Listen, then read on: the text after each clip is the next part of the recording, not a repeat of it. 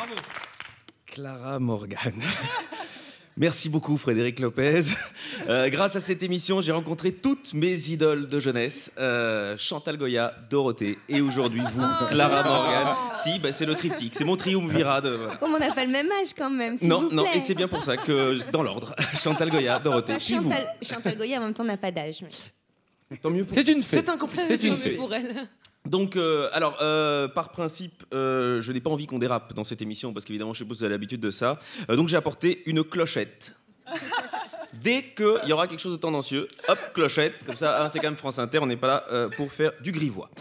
Euh, parce que vous êtes là pour ce très bel ouvrage, euh, sobrement intitulé Calendrier 2014. Je l'ai lu entièrement. C'est un très beau livre. J'ai beaucoup aimé. Il est un petit peu grand, hein, pas facile pour le, le trimballer, mais parce que je vous cache pas que j'avais moins aimé euh, votre précédent, qui s'appelait Calendrier 2013. Euh, pour preuve, cette année-là, j'ai lu deux fois Les Dieux du Stade, ce qui n'est pas normal pour un hétérosexuel. Euh, alors que j'avais adoré.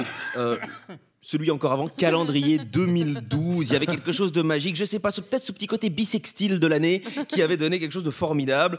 Mais venons-en à celui-ci, calendrier 2014. Il y a un profond respect de la chronologie. C'est un modèle du genre. euh, je vous fais le pitch pour les gens qui. ça commence de manière très efficace par le mois de janvier, chapitre 1, le mois de janvier. Vraisemblablement, c'était pas un hiver trop rude. euh, voilà, on sent pas le réchauffement climatique. Voilà, voilà. Euh, L'héroïne est radieuse et elle va vers le chapitre 2, paf, février. Paf, février. C'est le chapitre le plus court euh, du livre. Chapitre février. Euh, Il y a d'ailleurs voilà, une mise en abîme assez amusante puisque c'est le mois le plus court, mais c'est également la tenue la plus courte. Ce qui est une vraie trouvaille littéraire et je tenais à vous féliciter pour ça. Euh, oui, parce que je ne l'ai pas dit, peut-être les gens qui sont à la radio ne, le savent pas. Le livre est très illustré. Euh, et moi, je ne trouve pas ça gênant du tout parce que souvent, les auteurs contemporains, à mon sens, écrivent trop.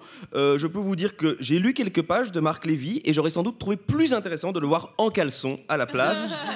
Euh, Donc, je suis d'accord. on est d'accord, évidemment. On est d'accord sur pas mal de trucs. je Euh, sens, hein, je sens qu'il y a un ça truc. commence à chauffer. Attendez, laissez-moi terminer parce que sinon je vais pas y arriver. Euh, et ensuite, euh, de manière presque pernicieuse, après février, vous placez un chapitre plus long intitulé Mars. Et là, l'héroïne se marie. Et ce qui est fort, c'est qu'on se rend compte qu'on prend l'histoire au début de la nuit de noces. Il reste que le voile euh, sur la tête. Très beau chapitre. Alors ensuite, on va vers mai, juin, juillet, qui nous permettent vraiment de réellement entrer dans la psychologie du personnage, qu'on imagine assez libéré. Alors évidemment, la question qu'on a envie de vous poser, comme à tous les auteurs, quelle est la part de vous dans ce personnage Oh, On ne le sait pas, difficile à cerner, puisque dans le chapitre juillet, vous placez finement, en plein milieu de l'été, une petite fourrure. Et ça, c'est fort. ça, c'est Madame de Rênal qui rencontre Love Amour. C'est Eva Bovary qui se prend pour Joséphine Baker. C'est la Joconde qui arrache son bustier pour devenir une fémène. Les chapitres suivants sont monotones, et c'est normal puisqu'il s'agit de septembre, octobre et novembre. Jeu de mots. Automne, monotone, automne, bon, monotone. c'est pas grave. J'explique. Et enfin, l'épilogue, tant attendu, le dernier, et ingénieusement appelé Décembre. Et je ne vous dirai rien, car je pense qu'on ne dévoile jamais entièrement la fin d'une œuvre. En tout cas, je vous souhaite le meilleur pour ce livre, euh, et j'espère sincèrement euh, que vous allez tirer beaucoup plus qu'Amélie Nothomb. Oh non, non, non, non, je... Oh là Alex Vizorek